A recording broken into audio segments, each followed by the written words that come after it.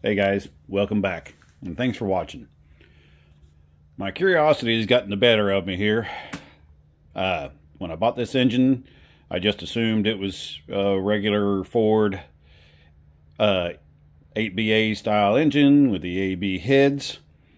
And when I was playing with it, trying to get it to start here a couple weeks ago, I figured out that these, and you can't see it, on the back of these water pumps is a mercury part number. So, that kind of aroused my curiosity. Is it just a plain Ford flathead or is it a Mercury flathead? And in case you didn't know, the Fords had a three and three quarter stroke and the Mercuries had a four inch stroke. The, back then, in the 50s, late 40s, 50s, the Mercuries always made more power than what the Fords did. And it really doesn't matter one way or another. It's still gonna, it's still going in the car. Uh, it's just one of those curiosity things. I just need to know.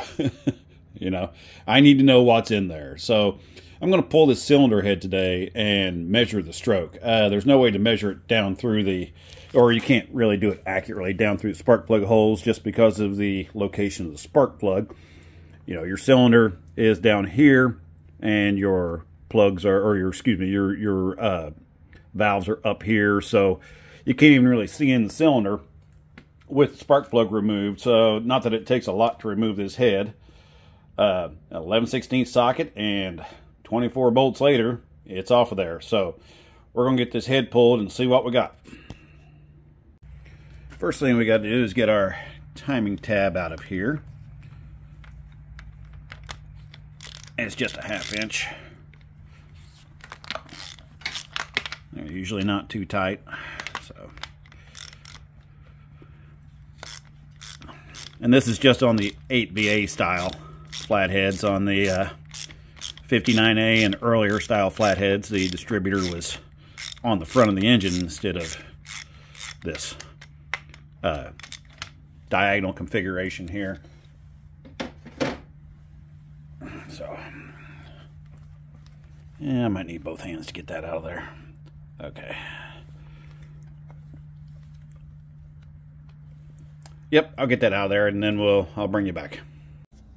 When Ford went to this style of distributor, when they went from the crab style distributor in the front to this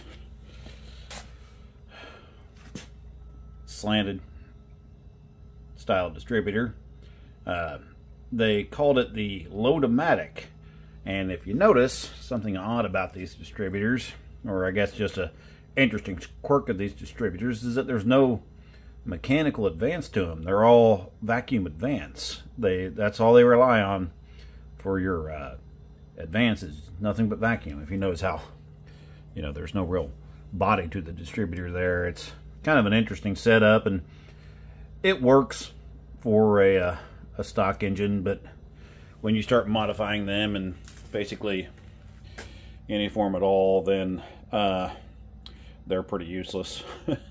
so uh, most people go to a Mallory. Well, for years, everybody went to the Mallory breakerless, and uh, it's still available, and it's still a good distributor, so it's probably what I'll end up putting in this one. But for now, the the factory Ford distributor is just fine. And now we just take our impact, start zipping these out. 24 bolts.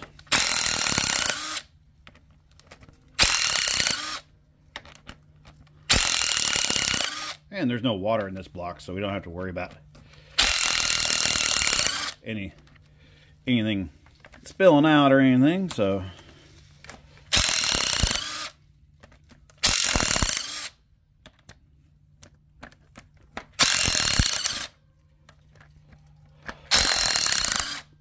won't be the first time I've had a, a Mercury 4-inch stroke crank, if that's what turns out to be.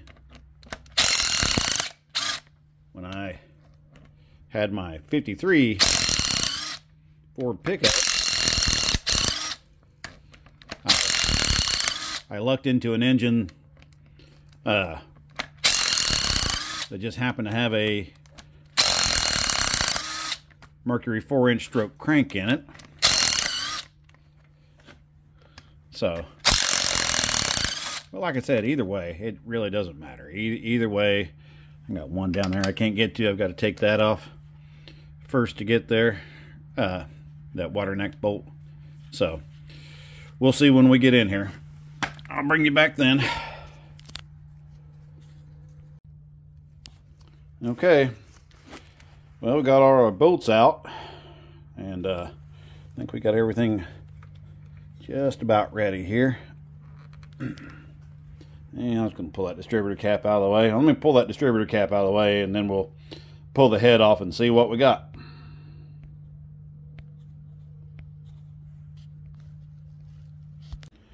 And there we have it. We got our cylinder head off.